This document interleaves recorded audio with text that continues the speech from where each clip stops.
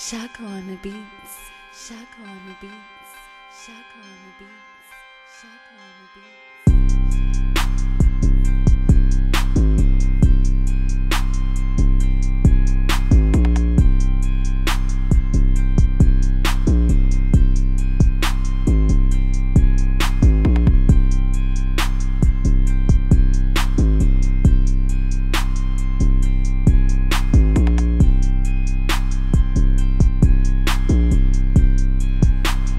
YouTube, what is good? It's your boy Shocka252. And yes, your boy got cornrows. Yes, so I don't have a fro. So uh, what I'm doing in today's video is I'm actually installing the Novistretch bra that goes in front of the car. I'm taking a little road trip this weekend. And I'm pretty sure I'm gonna encounter a lot of bugs. So you guys stay tuned. All right, so the first thing you wanna do, I already got ahead of myself on this. So I turned the wheel all the way to the right and got a flathead screwdriver and I popped out these rivets and I replaced them with the rivets that Novistretch provided and they're little snap-ons uh, for the for the bra. Um, and it came with these little metal platelets. It's a little nipple on them. Make sure it's facing inside of the car, inside of the bumper that way. And I already took care of that side. So, so as of right now, I'm going to start the car and turn the wheel the other way and show you guys the beginning process for it. All right, guys, here we go. So, uh, real quick, I want to give a big, big, big shout out to Mean B 392. Uh, I actually watched Mean B 392's video. He actually had the most accurate, easy to follow along video on YouTube. Uh, the only difference is if you have a if you have a Challenger where you see one rivet here, there's a rivet here. Challengers actually have a third one.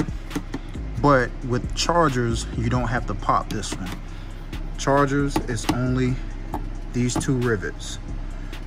But when you get the, if you have a Challenger, you're gonna have these little, these are little metal things I was talking about right here. If you have a Challenger, you're gonna put the metal one at the top and the metal one at the bottom. And you're just gonna put a regular rivet in the middle.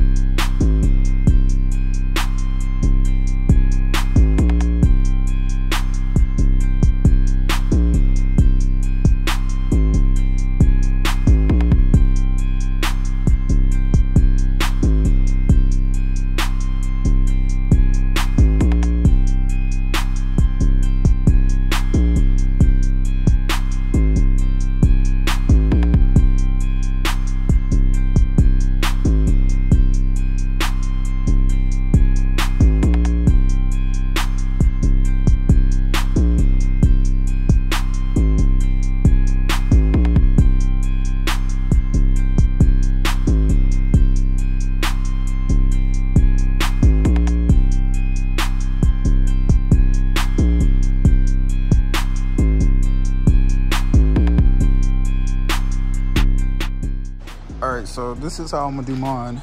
I went ahead and hooked these up here first. And i'm gonna just come down and around and i'm gonna snap it. Um i'm gonna try to get the camera at an angle where i don't have to hold it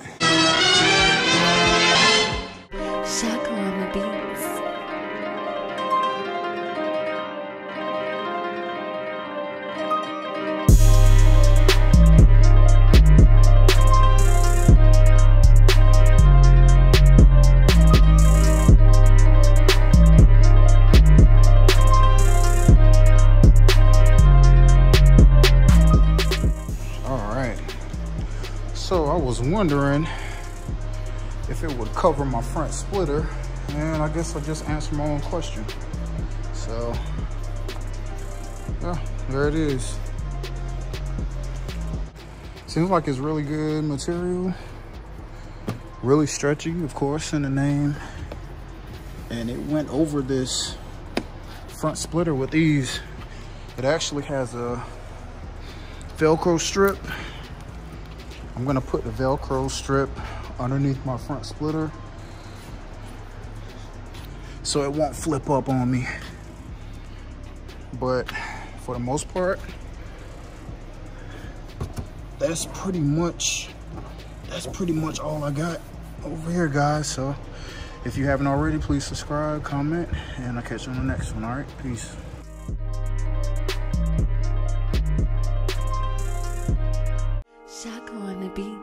下个